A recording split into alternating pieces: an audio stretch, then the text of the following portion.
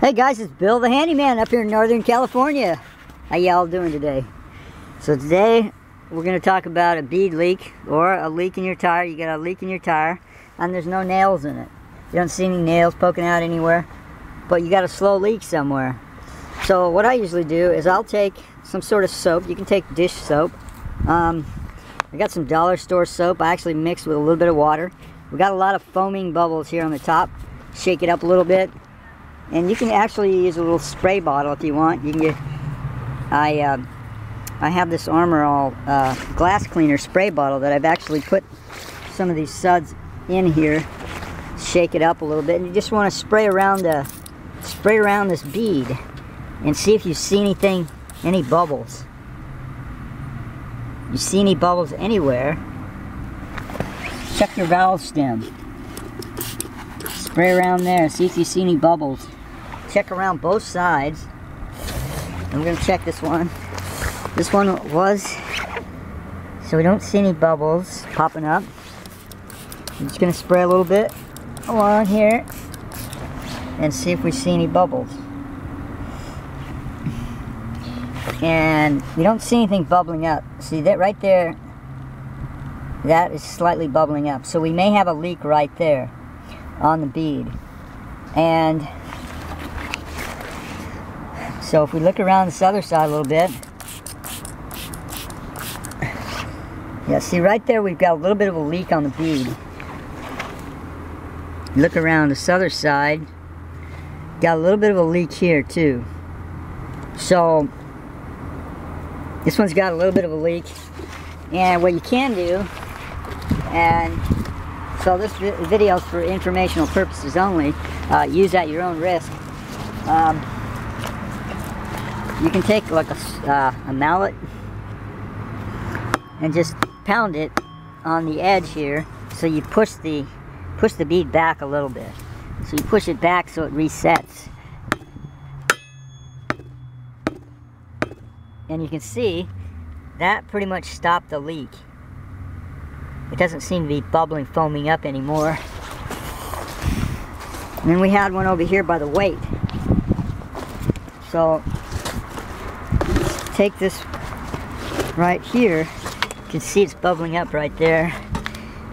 And you just take like a mallet, or in this case, you got the lug wrench, and just kind of pound it so that it reseats. And it looks like it's, no, it's still bubbling a little bit.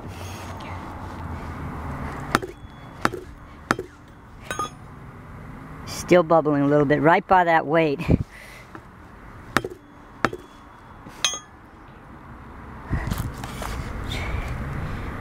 Then we can see this one start bubbling again. So this other one start bubbling again. And so what we're to have to do is keep pounding until it stops.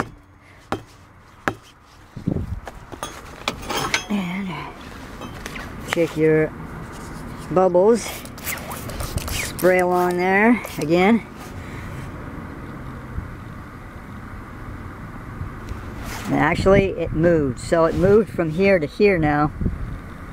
And we still have a little bit of bubbles action here. So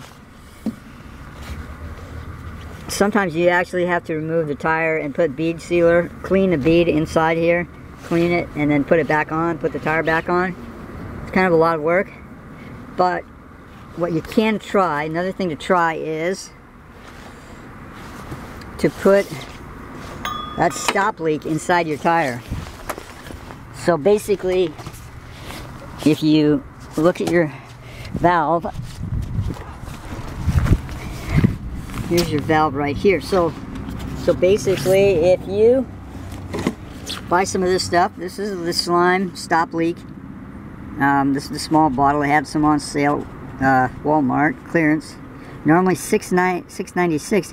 This is getting pretty expensive nowadays. Um, and actually, see, this doesn't say for regular tires because they don't want to uh, take the liability for uh, regular passenger vehicle tires. Um, so basically, this cap has a tool to remove the uh, valve core. So if you take this, you can see this is the tool for the, this is the valve core remover. You stick your valve core remover inside and unscrew it. It's lefty-loosey, righty-tighty. Now I've already done this one. I put a little bit, I had like a half, well I had a third left in this and I poured a third in here. What I'm probably going to have to do is I'm probably going to have to buy some more.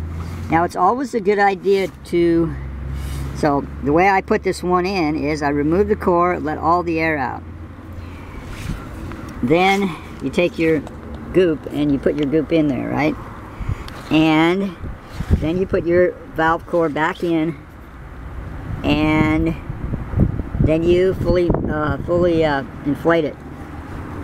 This is supposed to be 35 psi and so what I did is I I put only 25 psi in this one because uh, my uh, 12 volt inflator uh, sort of petered out at about 25 volts. It always, excuse me, 25 pounds. It always does that. But uh, anyway, it's a good idea to max the, the pressure out. So if you got, says 35 pounds, you put 35 pounds in. And then once you get your goop in there and you get it totally inflated, then what you want to do is you want to bounce it around. So you take this thing, you sort of like bounce it like a, basically you bounce it like a basketball, okay? And I'll show you here in a minute. So you can set this camera down. And so basically you want to bounce this thing, you want to bounce it all around so that it puts pressure and resets that bead. And you may find that it just sealed itself up uh, as it resets the bead. So give that a try, that might work. Okay, so uh, looks like after bouncing this thing around, we have no, no more leaks. So, we used to have bubbles here. We don't have bubbles there now, right? And we checked the other areas. And we don't have no bubbles. So this one should be good. So once again I did put some slime in it. Sublime slime. Um, bounced it around quite a bit. I put actually a third only a third a can of this in here um, and it's actually not fully inflated it's only got like 25 psi in it but it seems to be good now so uh, that's your quick wheel fix. Hope it works for you. For you. And that's the way I do it. Thanks for watching. Please rate, comment, and subscribe. Adios, amigos.